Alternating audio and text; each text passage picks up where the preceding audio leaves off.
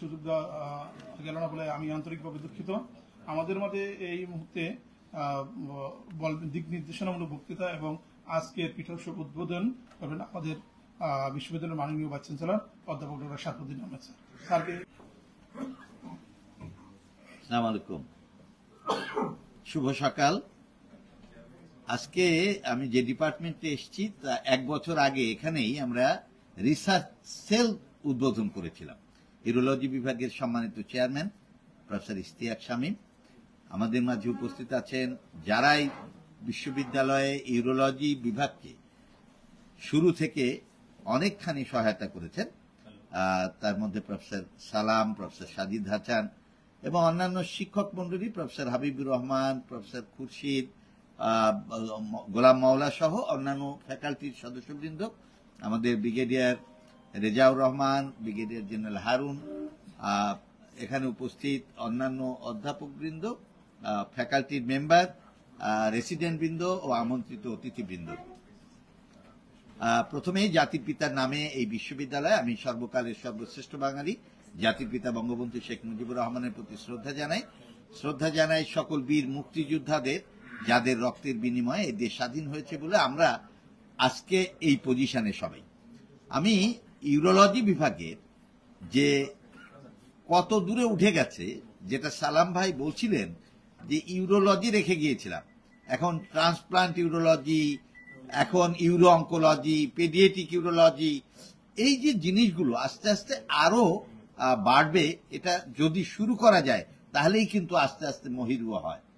তো ইউরোলজি বিভাগের research sell অনেকগুলো কাজ করেছে এবং আমি ইয়ার বুকটা করেছি তার মধ্যে যারা এখানে কাজ করেছে, সবার ছবি আছে। তাদেরকে আমরা ভুলে যাইনি।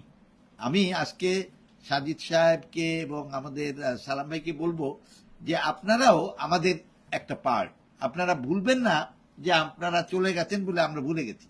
আমি আমাদের এখানে যে সুপার স্পেশালিস্ট হাসপাতাল, সেখানে আমরা অনুরোধ করব যে অন্তত সপ্তাহে না পারেন, যদি পনেরো দিনে বা মাসে একবার আমাদের এখানে ওপিডিতে আপনারা একটু সময় দেন, তিন ঘণ্টা তিনটা থেকে ছয়টা কিন্তু আমরা এখানে দেখি। আপনারা, আপনাদের যে ক্লিনিকে কাজ করেন, ঠিক সেরকমই এখানেও করতে পারবেন এবং আমরা এইটি পার্সেন্ট আমরা তাদেরকে কিন্তু ফেরত দিয়ে দিই। তো সেই ক্ষেত্রে আমার মনে হয় যে আপনারাও একটু সহায়তা করলে অনেকেই এখানে আসতে পারবে। আর আপনাদের জন্য দরজা খোলা, যদি আজকে আমরা ক্যাডাভারিক ট্রান্সপ্লান্ট শুরু করেছি, এটা কিন্তু বাংলাদেশের ইতিহাসে প্রথম, সেটা এই ইউরোলজি ডিপার্টমেন্ট করেছে। এটাও একটা ইতিহাস হয়ে থাকবে। Professor Habibur Rahman, professor Faruk professor Khurshid Alam, আর সাইফুল ইসলাম, দীপু, এরা সবাই কিন্তু এর সাথে জড়িত। ইশতিয়াক শামীম, নেফ্রোলজির আমাদের নজরুল, এরা ইতিহাস হয়ে থাকবে। আমি চাই এটা আরও বাড়াতে হবে। তার জন্য সচেতনতার পাশাপাশি আমার মনে হয় যে টিম বাড়াতে হবে। এই যে আমি কয়েকজনের নাম বললাম, ডাবল টিম তৈরি হতে হবে। যে একসময় দেখা গেল যে আমার লিভার ট্রান্সপ্লান্টও করতে হবে, রেডি থাকতে হবে। ক্যাডাভার পেলাম, লিভারটা তো ট্রান্সপ্লান্ট করতে পারলাম না, তাহলে এটা লস হয়ে গেল। আমার কর্নিয়া আর কিডনি আমরা এখন করতে পারছি। হার্টের জন্য আমরা কথা বলেছি আমাদের জাহাঙ্গীরের সাথে। সে হার্ট ট্রান্সপ্লান্ট করতে যখনই পাবো, তাকে ডাকবো।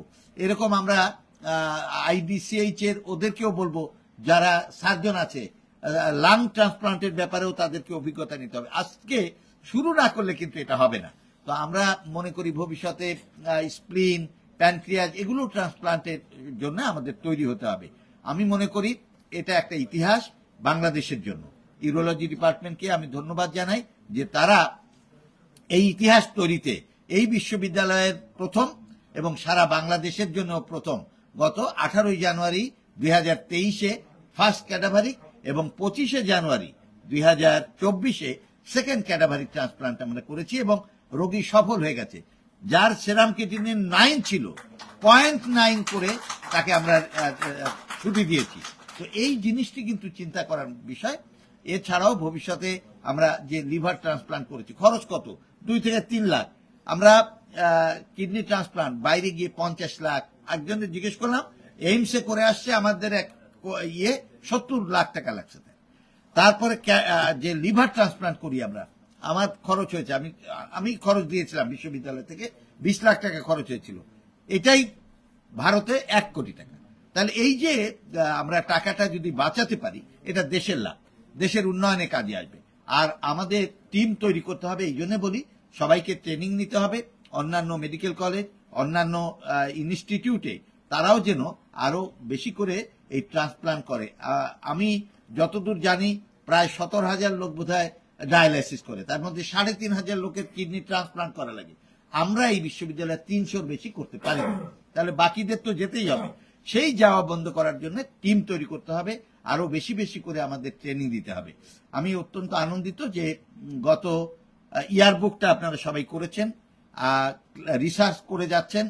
রিসার্চের পেপারগুলোর নামটাও শ্রাবন্তী ধর অ্যাড করে দিয়ে যে গত বছর কতগুলো হয়েছে, তার আগে কত হয়েছে এবছর কটা হলো? এটা লেখা থাকলে আমাদের জন্য আর একটু সুবিধা হয়। আর সাথে সাথে আমরা যে রিসার্চ গ্রান্ট ফ্যাকাল্টি পেয়েছে প্রায় সাতাশ কোটি গতবার, এবার একশো জন জমা দিয়েছে। এটা কিন্তু আমি উৎসাহিত করি সবাইকে যে তোমরা জমা দাও। তো যার ফলে এবার একশো জন, আমি আশা করি আবার তিরিশ কোটির মতো আমরা পাবো রিসার্চ গ্রান্ট। আর চার কোটি থেকে আমি পঁয়ত্রিশ কোটিতে উন্নীত করেছি। আমাদের বিশ্ববিদ্যালয়ে যে রিসার্চ গ্রান্ট ছিল তেমন করে আপনাদেরকে আমি খুশি হবেন আপনারা শুনে, যে এই যে ওটি, এটা আশি সালের পরে আমি তাদেরকে রিনোভেশন করে দিলাম। কিন্তু সমস্যা হলো, এই যে মেশিন কেনার জন্য কিন্তু আমি অনেক আগে দিয়ে দিয়েছি। পাঁচটা এসছে আরও পাঁচটা আসার কথা আসলেই আমি কিন্তু এই ওটি গুলোতে দিতে পারব। নিউরোসার্জারির ভাইস চ্যান্সেলর সাহেব ছিলেন, উনি কিন্তু টেবিল দেন নাই, আমি টেবিল কিনে দিয়েছি। কিন্তু তারা বলছে যে এর সাথে ওই অ্যানেস্থিসিয়া মেশিন তা না হলে আমি আরেকটা কাজ করতে চাই আমি সবাইকে আজকে বলে রাখি। ইন ফিউচার আপনারা সেকেন্ড শিফটটা চালু করব আমরা। যে দুইজন সকালে আসবে, দুইজন বিকেলে আসবে। সেই বিকালের যিনি সার্জারি করবেন, তিনি বিকালে করবেন, তিনি ওই দিন সকালে করবেন না। এভাবে আমরা ভাগ করে নিলে কিন্তু আমাদের ওটি আটত্রিশ না, ছিয়াত্তরটা হবে। আটত্রিশটা ওটিকে আমরা ছিয়াত্তরটা করতে চাই, তাহলে আমাদের দেশের অনেক রোগী কিন্তু আগেই চিকিৎসা করতে পারবে। মাসের পর মাস যেন ভর্তি না থাকে। তার জন্য আমরা একটা ব্যবস্থা করেছি। ইনভেস্টিগেশন সব শেষ করে ভর্তি হবে। ডেট থাকবে অত তারিখে আপনার অপারেশন তাহলে সে তাড়াতাড়ি করে চলে যেতে পারবে। আমরা এইমসে জানি, দশ দিনের বেশি কোনো রোগী কিন্তু ওখানে অপারেশনের পরে রাখে না। পার্শ্ববর্তী কোনো এক জায়গায় তারা থাকে। আমিও আরেকটা রোগীকে ভর্তি করব, দশ দিনের বেশি রাখব না। সেইভাবে কীভাবে ইনভেস্টিগেশন করে ভর্তি করা যায়, এদিকটাও আপনারা খেয়াল রাখবেন। আমাদের ছাত্র ছাত্রীরা ভালো থিসিস করছে। আপনি জেনে খুশি হবেন, কোনোদিন কারও মাথায় আসে না যে প্লেগারিজম চেক করা লাগবে। আমরা কিন্তু অলরেডি চেকিং সফটওয়্যার ডেভেলপ করে ফেলেছি। এখন আমাদের ছেলেমেয়েদের পনেরো থেকে ম্যাক্সিমাম দশ থেকে পনেরো পার্সেন্ট মাত্র তাদের হয়। আমরা পঁচিশ পার্সেন্ট পর্যন্ত অ্যাকসেপ্ট করার কথা বলেছি। তার মানে ফ্যাকাল্টিকে আমরা বলেছি যে তাদের পনেরো পার্সেন্ট আর ছাত্রদের পঁচিশ পার্সেন্ট এটাও কিন্তু আমরা শুরু করেছি। আমরা আমাদের জার্নালটাকে ইন্ডেক্সিং করেছি। এ সব কিছু কিন্তু আমাদের অর্জন। আমি মনে করি সবচেয়ে বেশি অর্জনটি ইউরোলজির মাধ্যমে এই বিশ্ববিদ্যালয়ে পেয়েছে, সেটা হলো ক্যাডাভারিক ট্রান্সপ্লান্ট ভবিষ্যতে আপনাদের এই কার্যক্রম অব্যাহত থাকুক। অ্যানেস্থেসিওলজিস্ট, নেফ্রোলজিস্ট, ইউরোলজিস্ট, আর একটা টিম আছে।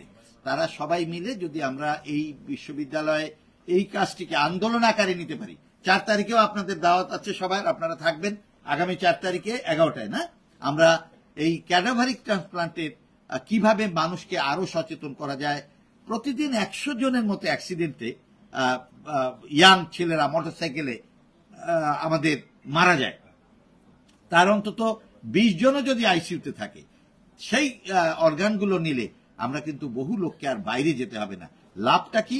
ওই যে অন্য দেশে নিয়ে কিন্তু ভাই, ভাগ্নে বানায় নিয়ে আসে আর আমার দেশে ওই সাংবাদিকরা খুঁজে বের করে যে আমি তো এটা পাঠাইতে পারলে বোধহয় ভালো হইতো, একটা কমিশন পাইতাম। পেলাম না, এই জন্য খুঁজে বের করে যে কোনো ভুল ভ্রান্তি পাওয়া যায় কিনা। তো আমরাও এই দেশে এর জন্য দুটো কাজ করতে হবে। আইনটাকে একটু সংশোধন করা, আমি কিন্তু বিচার, প্রধান বিচারপতিকে সেদিন বলেছি যে এই অঙ্গ সংযোজনে আমরা মানবিক কারণে একটা কমিশন করে কোনো বিশেষ ব্যক্তি, এক মহিলা তার স্বামীকে কিডনি দেওয়ার জন্য আরেকজন রাজি, কিন্তু আইনের কারণে পারে নাই। সে মামলা করেছিল কিন্তু হাইকোর্টে। সে মামলায় ওই মহিলা জয়ী হয়েছে, বলেছে, মানবিক কারণে যদি একটা মানুষকে বাঁচাতে হয়, তাহলে কেন আমি আরেকজন এর কিডনি নিতে পারব না? সেই আইনটি আমরা বাস্তবায়ন করার চেষ্টা করব। আমি প্রধান বিচারপতি মহোদয়কেও সেদিন বলেছি, আসুন, আমরা এই মানবিক কারণে দেওয়া যায় কিনা, আর সবাইকে উদ্বুদ্ধ করব যে তারা লিভিং ডোনার যেমন উদ্বুদ্ধ করব, তেমনি করে তাদের আত্মীয় স্বজনের বাইরে দিতে পারছে না। আমরা আইসিইউ থেকে ওই যে ক্যাডাভারিক ট্রান্সপ্লান্টের ব্যাপারে আরও বেশি বেশি আমরা করতে পারি কিনা চার তারিখে আমরা একটা সেমিনার করব। তো আমি আর দীর্ঘ বক্তব্য রাখলে আমাদের বোধহয় পিঠা খাওয়ার ক্ষুধা বেড়ে যাচ্ছে। তো পিঠা মানেই হলো আমি মনে করি হ্যাঁ, গরম গরম খেতে হবে আর জাতীয়তাবাদী হিসাবে বাঙালি বাঙালিত্ব কিন্তু আমাদের ফুটে ওঠে। আমরা এই পিঠা উৎসবের নামে যে একত্রিত হয়েছি বিশ্ববিদ্যালয়ের একটা ডিপার্টমেন্ট রিসার্চ কীভাবে করছে সে সম্পর্কে আমরা অভিজ্ঞতা নেব। ভবিষ্যতে একটা রিসার্চ ডেও পালন করবেন। সেই ডেতে আমরা এসে দেখব যে গত বছর কোন কোন ফ্যাকাল্টি কোন কোন থিসিস যারা করেছে, একটা একটা দুটো পুরস্কারও দেব।